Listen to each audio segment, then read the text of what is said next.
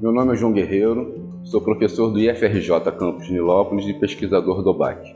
O Observatório Baixada Cultural ele surge no ano de 2020 no bojo da pandemia que assolou todo o território é, nacional, mundial, mas pensando e olhando para o nosso território que é a Baixada Fluminense.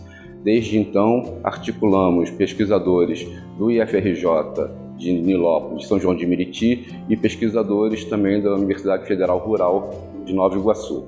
Nesse período, fizemos pesquisa com relação aos impactos da Covid nesse território e também cursos para instrumentalizar os fazedores e as fazedoras culturais para poderem fazer editais nessa época emergencial.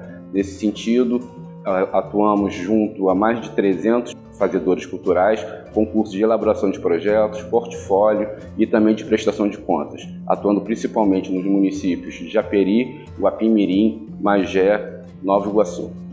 Olá, meu nome é Bruno Borja, eu sou professor da Universidade Federal Rural do Rio de Janeiro, do campus de Nova Iguaçu, faço parte do Observatório Baixada Cultural.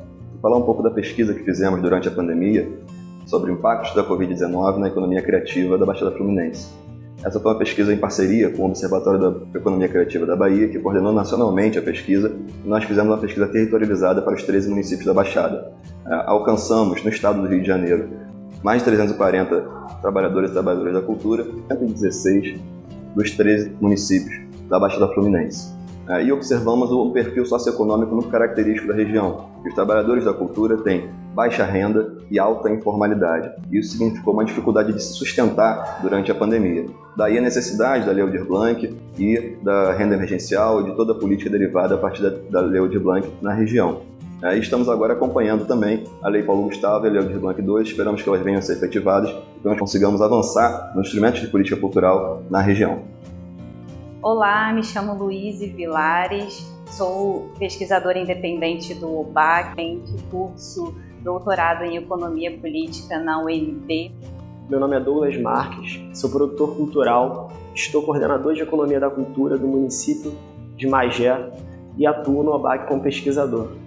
Olá, sou Tanan Reis, economista, mestrando em Planejamento Urbano e Regional pela UFRJ, pesquisador do Observatório Baixada Cultural, morador de Nilópolis, na Baixada Fluminense. Olá, eu sou o Igor, é, morador de Belfor Roxo, sou formado em Economia na Rural de Nova Iguaçu, atualmente sou mestrando em Economia pela UF